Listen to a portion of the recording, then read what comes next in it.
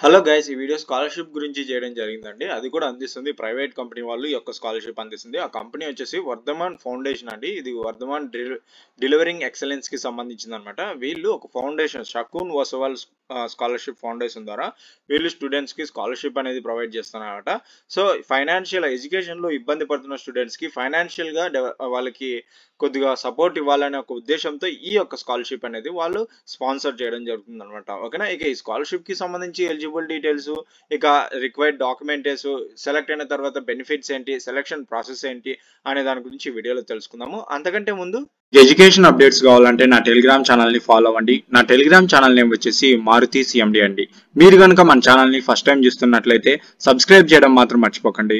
Notifications కోసం పక్కనే ఉన్న బెల్ ఐకన్ని మెల్లగా క్లిక్ చేయండి. మరి ఇంకెందుకు ఆలస్యం? Let's enter the video hi friends my self welcome to my channel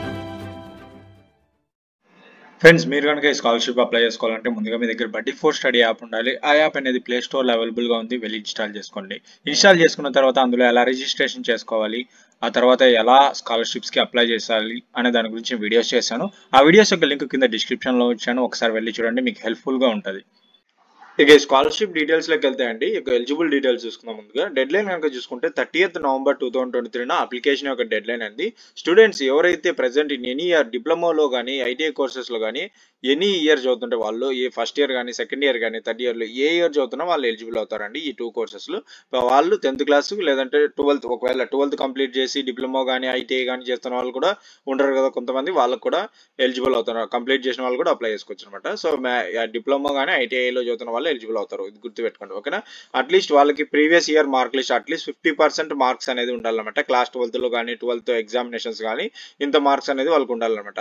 వారి యొక్క ఫ్యామిలీ ఇన్కమ్ కనుక చూసుకుంటే పర్ యానము సిక్స్ ల్యాక్స్ కంటే ఎక్కువ ఉండకూడదండి. దానికంటే తక్కువ ఉండాలి ఈక్వల్ ఉండాలన్నమాట. ఓకేనా? ఇక్కడ ఫస్ట్ ప్రిఫరెన్స్ అనేది హిమాచల్ ప్రదేశ్ వాళ్ళకి పంజాబ్ అండ్ మధ్యప్రదేశ్లో ఉన్న స్టూడెంట్స్ కనుక వీటికి అప్లై చేసుకుంటే ఫస్ట్ ప్రిఫరెన్స్ వాళ్ళకి ఇవ్వడం జరుగుతుంది. మిగతా వాళ్ళకి ఇవ్వడం అనేది కాదండి. వాళ్ళకి కూడా మిగతా వాళ్ళకి కూడా ప్రిఫరెన్స్ ఇవ్వడం జరుగుతుంది. కాకపోతే వీళ్ళకి కాస్త ఎక్కువ ప్రిఫరెన్స్ అనేది ప్రొవైడ్ చేయడం జరుగుతుంది. ఓకేనా? అదేవిధంగా children of Vardhman textile limiteds and buddy four study employees are not eligible to apply అంటే మీ యొక్క పేరెంట్స్ కనుక బడ్డీ ఫోర్ స్టడీ యాప్లో కానీ లేదంటే వర్ధమాన్ టెక్స్టైల్స్ ఈ కంపెనీలో కనుక వర్క్ చేస్తుంటే ఆ స్టూడెంట్స్ కనుక ఈ స్కాలర్షిప్ అప్లై చేసుకోవాలని ట్రై చేస్తే నాట్ ఎలిజిబుల్ అవుతుంది అనమాట ఓకేనా? మీరు కనుక ఎలిజిబుల్ డీటెయిల్స్కి చూసుకొని మ్యాచ్ అవుతే కనుకున్న బట్టి మీరు అప్లై చేసుకుంటే కనుక మీరు సెలెక్ట్ అయితే కనుక మీకు స్కాలర్షిప్ అమౌంట్ అనేది ఫిక్స్డ్ ఫైనాన్షియల్ అసిస్టెన్స్ అనేది ట్వంటీ థౌసండ్ రూపీస్ అనేది వాళ్ళు మీకు డైరెక్ట్గా బ్యాంక్ అకౌంట్లోకి ట్రాన్స్ఫర్ చేయడం జరుగుతుంది ఓకేనా ఇది మీ అమౌంట్ అనేటండి సెలెక్ట్ అయితే మీకు ట్వంటీ థౌసండ్ రూపీస్ అమౌంట్ అనేది ప్రొవైడ్ చేయడం జరుగుతుంది. ఓకేనా ఇక డాక్యుమెంట్స్ కావాల్సింది కనుక చూసుకుంటే స్టూడెంట్వి స్టూడెంట్ యొక్క passport size photo apply upload చేయాల్సి ఉంటుంది. అదేవిధంగా మార్క్ షీట్ అనేది అప్లోడ్ చేయాల్సి ఉంటుంది. టెన్త్ అదేవిధంగా ట్వెల్త్ యొక్క ప్రీవియస్ ఇయర్ మార్క్ షీట్ అనేది. ఇక government issued orders a proof Aadhaar card అనేది అప్లోడ్ చేయాల్సి ఉంటుంది. ఇక ఇన్కమ్ ప్రూఫ్కి సంబంధించి ఐటీ ఫార్మ్ సిక్స్టీన్ కానీ ఇన్కమ్ సర్టిఫికేట్ కానీ for SDM DM tahsildar or component government authority salary slips సంబంధించి ఇందులో ఏదైనా ఒక డాక్యుమెంట్ అప్లోడ్ చేయండి సరిపోతుంది. ఇక కరెంట్ ఇయర్ అడ్మిషన్ ప్రూఫ్కి సంబంధించి అకాడమిక్ ఫీజు రిసిప్ట్ కానీ అడ్మిషన్ లెటర్ కానీ ఇన్స్టిట్యూషన్ ఐడి కానీ బోనఫైడ్ సర్టిఫికేట్ కానీ ఏదైనా ఒక అడ్మిషన్ ప్రూఫ్కి సంబంధించి మీ కాలేజీలో జాయిన్ అయినట్టు ఈ అకాడమిక్ ఇయర్ సంబంధించి ఒక డాక్యుమెంట్ అనేది అప్లోడ్ చేయండి. ఇక bank account details of the applicant అనమాట ఓకేనా? ఒకవేళ స్టూడెంట్ యొక్క bank account details front page upload చేయండి ఓకేనా? ఫ్రంట్ పేజ్ అనేది అప్లోడ్ చేయండి. ఒకవేళ లేకపోతే కనుక స్టూడెంట్ ఇది పేరెంట్ యొక్క స్టూడెంట్ ఇది ఒకవేళ పేరెంట్ కూడా లేకుంటే ఆ పేరెంట్ ఆ స్టూడెంట్ని బాగోగులు అన్ని చూసుకుంటాడు గార్డెన్ అంటారు. వాళ్ళ యొక్క డీటెయిల్స్ అనేది ఎంటర్ చేయండి ఓకేనా? ఇక ఇక హౌ కెన్ అప్లై అనేది దీని మాత్రం మీరు స్టెప్ బై స్టెప్ చూడొచ్చు. లేదంటే నేను ఇంతకుముందు వీడియోస్ చేశాను అనమాట మీరు ప్లే స్టోర్లోకి వెళ్ళి how to apply buddy for study small Maruti CMD అనుకుంటే అందులో వస్తుంది అనమాట ఓకేనా మీ డీటెయిల్స్ కనుక మ్యాచ్ అయితే కనుక అప్లై నా మీద క్లిక్ చేసుకోండి ఓకేనా ఇక్కడ డీటెయిల్స్ కనుక చూసుకుంటే ఒకవేళ మీకు ఇంకా డీటెయిల్గా తెలుసుకోవాలి అనుకుంటే కనుక ఇక్కడ వాళ్ళ మెయిల్ ఐడి ఇచ్చారండి మీకు ఏమైనా డౌట్స్ కానీ క్లారిఫికేషన్ కానీ ఉంటే కనుక ఈ మెయిల్కి మీరు మెయిల్ చేయండి ఓకేనా ఇక నెక్స్ట్ సెలక్షన్ ప్రాసెస్ కనుక చూసుకుంటే అండి మిమ్మల్ని ఫస్ట్ అప్లికేషన్ అప్లై చేసిన వాళ్ళందరి అప్లికేషన్స్ షార్ట్ లిస్ట్ తీసుకోవడం జరుగుతుంది అందులో అన్ని తీసుకోవడం జరుగుతుంది.